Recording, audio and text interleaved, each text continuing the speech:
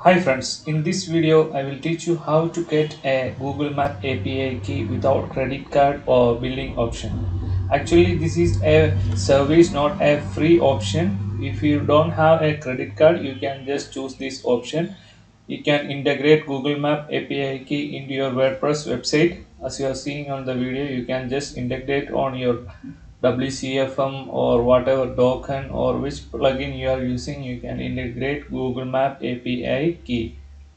You can go to the link on the description box below. You can get the Google Map API key free uh, from this site. You can just get it from this.